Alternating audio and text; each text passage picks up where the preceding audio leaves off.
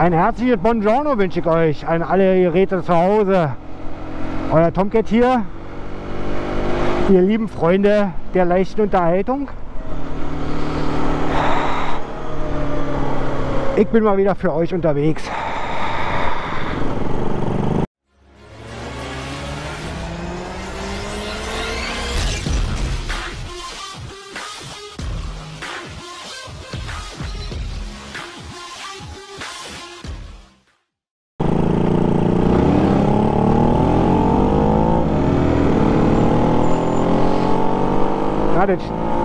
Sieht aber auch aus wie eine 125er, wa?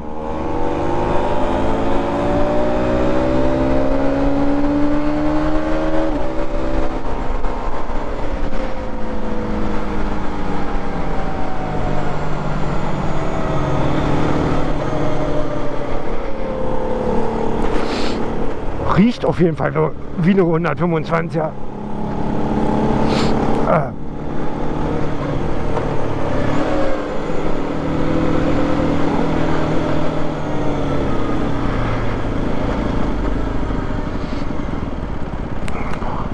Klären wir ab. 125er oder was? Aber wenn, wenn kalt ist raus und die paar Tage stand, dann läuft es immer scheiße um mit Schock, ja. Ja. So, da kommt. Ja. Das ist eingemottet, letzte Fahrt. Wird langsam Zeit, ja.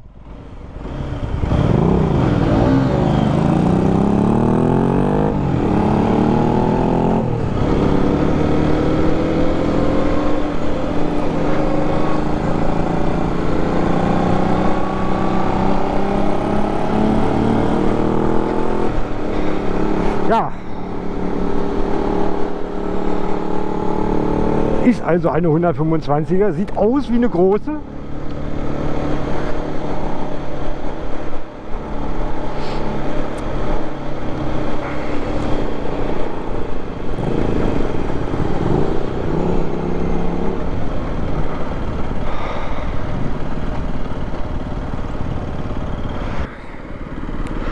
Ich denke mir mal, wir reden mal ein bisschen über Kommentare. Gab er als letztes einen, da wurde ich gefragt,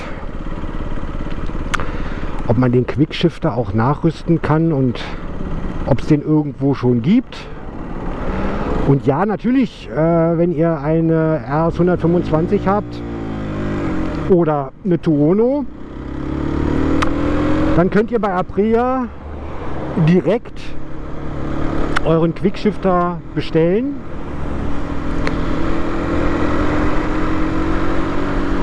Denn an dem Quickshifter hat sich ja nichts geändert zu den Vorgängermodellen. Ist immer noch der gleiche. Und damit könnt ihr den auch an einer 2021er verbauen. Gar kein Problem. Mm. Dann stellte sich die Frage als nächstes, ja, okay, dann habe ich den verbaut. Was ist denn mit der Software?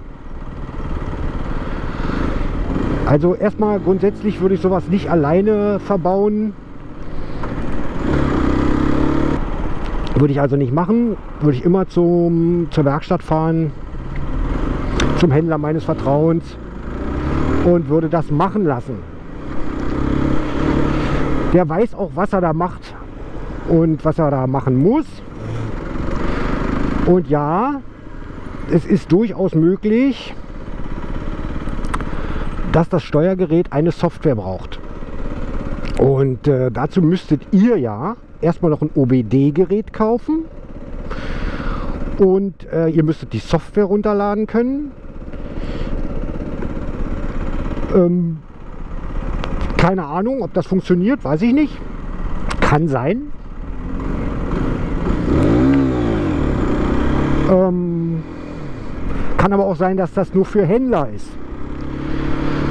So, und äh, wenn ihr das OBD-Gerät habt und die Software, dann braucht ihr noch den richtigen oder den passenden Stecker für das Steuergerät.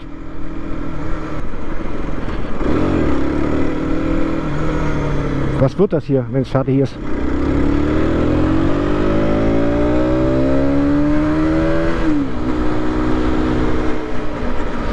Ähm, ja, muss man dann halt äh, recherchieren beziehungsweise erfragen beim Händler oder bei Aprea selber, was dafür genau benötigt wird und ich denke, da ist der einfachere Weg. Ihr geht zum Händler und sagt ihm, er soll euch das anbauen, ihr bezahlt das Ding plus, weiß ich nicht, 20 Euro, weil Arbeitsstunde, länger kann das ja nicht dauern. Also länger als eine Stunde dürfte das nicht dauern. Ähm, ja, und der weiß dann, wo er die Software runterladen muss. Und der hat das OBD-Gerät, der hat den passenden Stecker dazu, der weiß, wo der Anschluss ist bei dem Steuergerät oder wo das Steuergerät überhaupt sitzt. Und das, wenn ihr so ein Bike neu habt, das könnt ihr ja alles gar nicht wissen. So dementsprechend meine Empfehlung, bringt das Ding in die Werkstatt. Lasst euch das machen.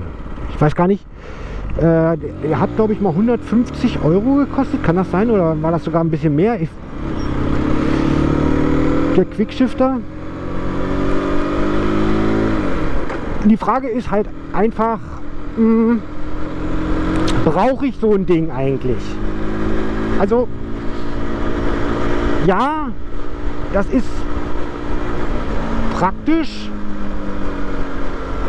aber ich selber versuche ja irgendwie das auch alles auszutesten und den Nutzen daraus zu sehen und stelle immer wieder fest, oder ich erwische mich selber dabei, ähm, dass ich Kupplung ziehe und schalte. Fahr doch rüber, ja. Ist für mich Platz. So, bei solchen Sachen ähm, äh, hier eben gerade, das geht ganz gut. Aber es geht ja nur,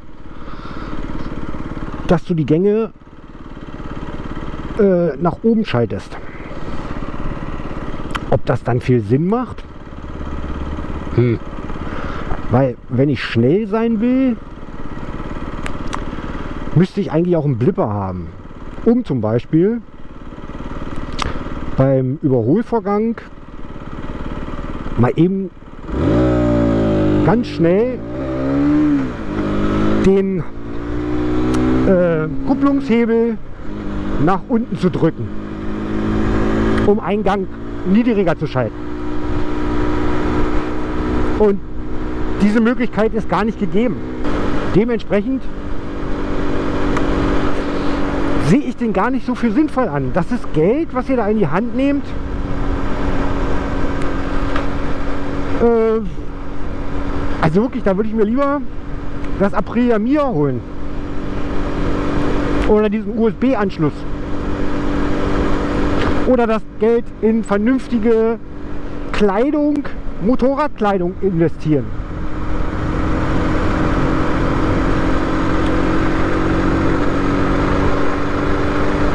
Das sind so Sachen, die viel, viel wichtiger sind als ein Quickshifter. Ja, der Quickshifter macht Spaß. Du kannst jetzt hier fahren und musst nicht die Kupplung ziehen. Zack. Dafür ist es gut. Aber es bringt euch doch nicht irgendein Benefit. Weil wenn ich jetzt schneller, jetzt bin ich im fünften Gang, ne, im sechsten sogar schon. So, wenn ich jetzt äh, schneller werden will, oder beschleunigen muss, einen Gang runterschalten, muss ich doch wieder die Kupplung nehmen. Bringt doch nichts. Und wenn ich Blipper hätte, dann ist das wieder eine ganz andere Geschichte. Weil dann brauche ich diese Kupplung nur gerade mal noch zum Anfahren. Also erster Gang und dann fahre ich das Ding an und dann schalte ich nur rauf, runter mit dem, mit dem Blipper und dem Quickstifter. Das Ding macht Sinn. Das hier? Nee, eigentlich nicht. Es ist einfach nur so eine Geschichte, äh, so eine, ein bisschen Bequemlichkeit, die man denn hier hat. Und äh, wir stellen uns das einfach mal vor, wir hätten sowas beim Auto. gibt ja Autos mit sequenzieller Schaltung. Gerade so in dem Bereich sportlich, also Golf GTI oder auch Mercedes bietet das teilweise an oder immer, immer häufiger an, diese sequentiellen Getriebe. Ich habe eine C-Klasse gehabt, 220 CDI. Ich hatte da später nochmal einen 200er CDI. Ähm, alle waren beide Baujahr. Der eine war 2004, der andere war 2005. Also die W203 Serie. Und der hatte, wie üblich, also in Berlin fährt man Automatik. Ja, Schaltung ist der Tod. Ja. Und ich hatte also Automatik und ich hatte Schaltwippen. So, jetzt muss man sich das so vorstellen, man hat ja schon Automatik und diese Elektronik steuert ja eigentlich oder ja, steuert das Motormanagement und Getriebemanagement eigentlich. Und das heißt, ähm, wenn ich langsamer werde, schaltet das Fahrzeug ab einer bestimmten Geschwindigkeit, Drehzahl, also das wird genau ausgerechnet, bla bla bla und Kraftstoffverbrauch und tralala und pipapo. Ach, frag doch einfach Mercedes, wie das funktioniert. Verdammt, keine Ahnung. Nein. Ähm, schaltet er einen Gang runter. Oder ich mache das mit dem Quickshifter oder mit dem Kickdown. So, diese zwei Möglichkeiten habe ich. Oder drei.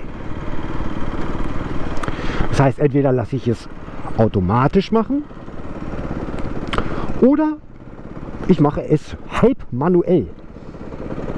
So, und dann habe ich das ausprobiert und war sichtlich enttäuscht, weil du ziehst an dem ähm, an dem Pedal, so nennt man das ja, dem Schaltpedal und da passiert gar nichts. Weil der Bordcomputer bzw. Steuergerät sagt, äh, nö. Wenn du jetzt schaltest, dann fährst du ja nicht mehr wirtschaftlich. So, dafür bedarf es nämlich ein besonderes Steuergerät, nämlich das zum Beispiel eines AMGs.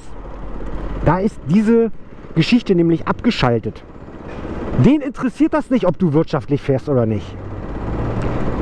Und getriebeschonend. Das ist dem vollkommen Wurst. So. Was so ein Steuergerät kostet, äh, ihr könnt ja mal im Internet gucken, aber ich sag einfach mal so zwischen 600 und 1000 Euro, je nachdem was es für eins ist könnt ihr ja mal gerne drüber nachdenken, ob er denn solche Investitionen in eurem Auto, wenn ihr einen Mercedes fahrt, wenn ihr sowas da einbauen würdet wollen.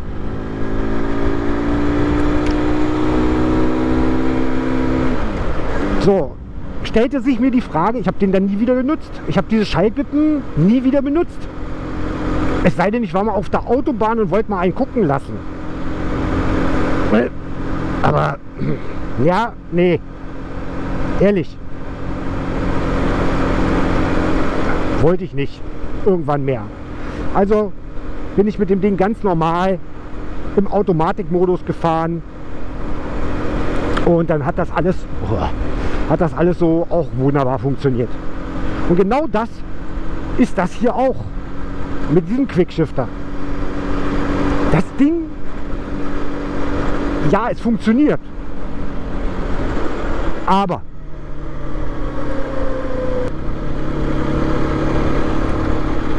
ja, äh, keine Ahnung.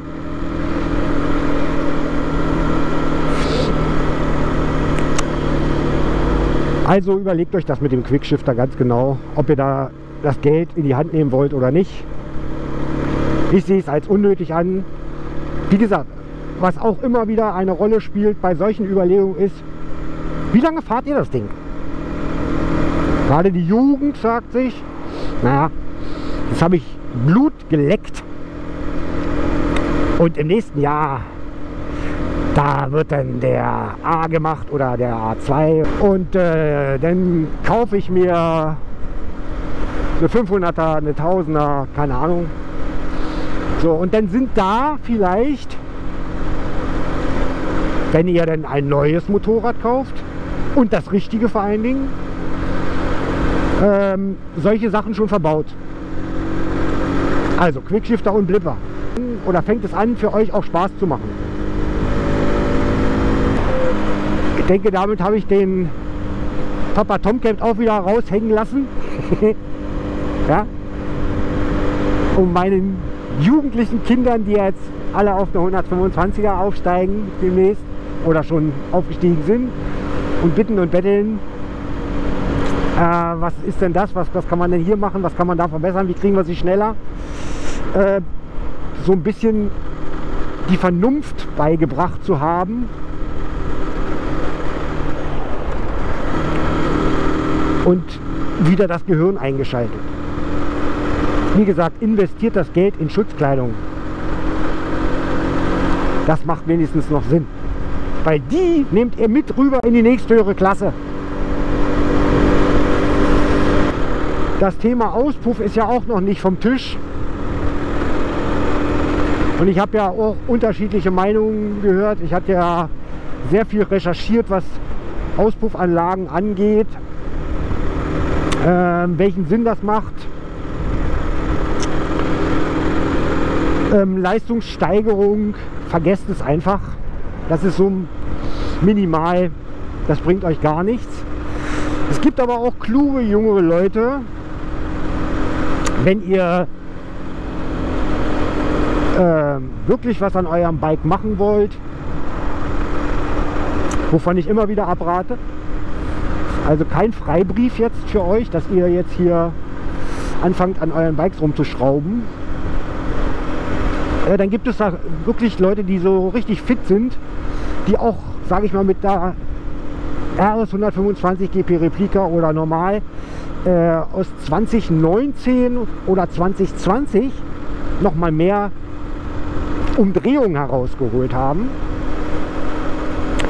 War ich also sehr erstaunt, was man da so alles machen kann. Ja, okay, alles klar, da gibt es ein neues äh, Teil, Bauteil, was da eingebaut werden muss mit einer anderen Software, damit die Gemischveränderung stattfindet.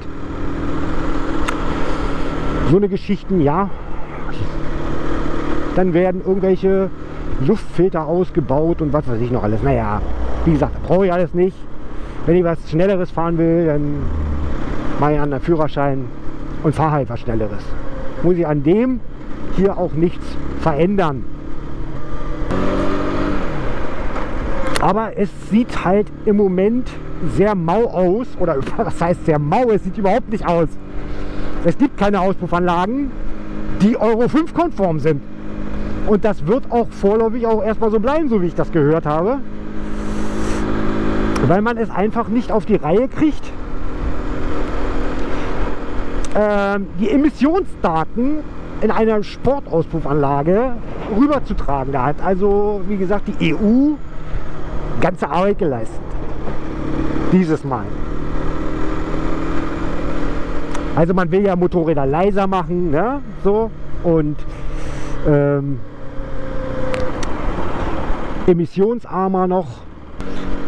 Von daher macht man dann halt im Grunde genommen so eine Sachen wie, ja, man gibt irgendwelche Vorgaben und die müssen dann eingehalten werden und dann müssen Zulieferer versuchen, also Anbauteile zu bauen und die müssen dann aber auch dieselben, ja, dieselbe Emission haben. Und das gestaltet sich dann meistens sehr, sehr, sehr schwierig.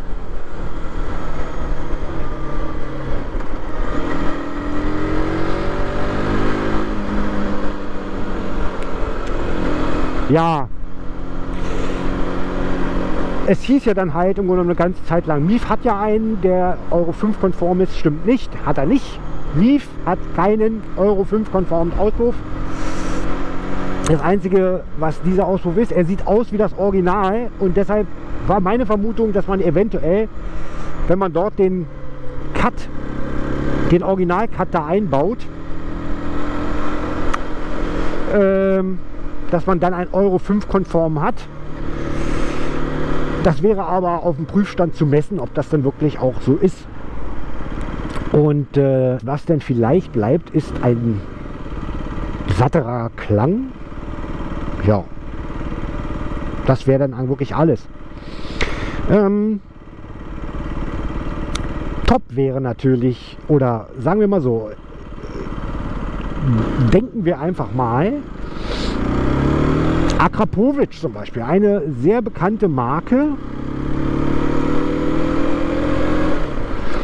ähm, würde sich jetzt tatsächlich hinstellen und die ähm, Konstruktionsabteilung, also die ganzen Techniker und Ingenieure würden sich dann tatsächlich hinstellen und versuchen, für die Aprilia oder für alle Euro 5, das ist ja das Ding. Es wird ja nicht nur für die Aprilia gemacht oder für einen Motorradtypen äh, eine Anlage, eine Komplettanlage oder auch nur einen Endtopf herauszubringen, der die Werte erfüllt.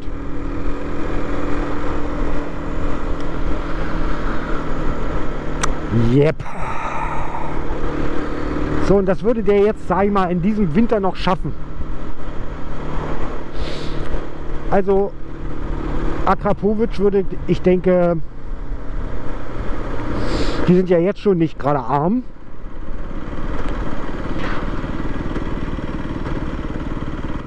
Die wären jetzt dann halt top am Markt. Weil alle würden dann sich so ein Auspuffrohr holen.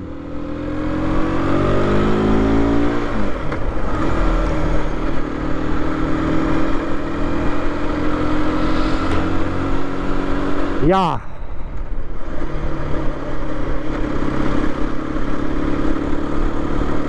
Ihr könnt mir gerne mal in die Kommentare schreiben, was ihr von meinen beiden Themen haltet.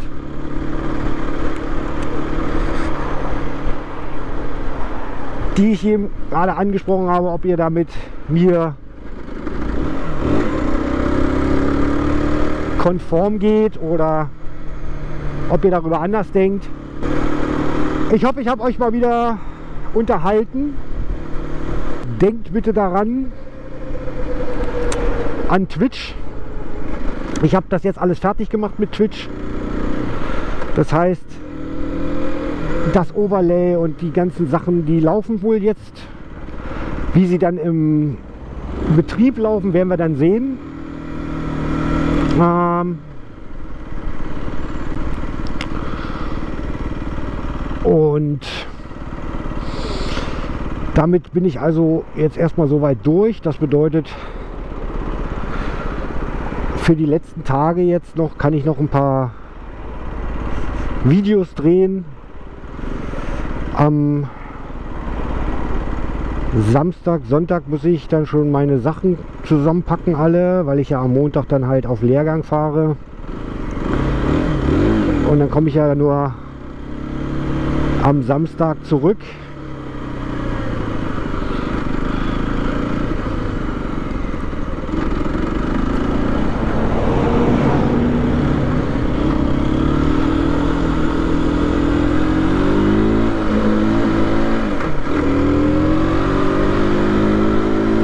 Und äh, ja,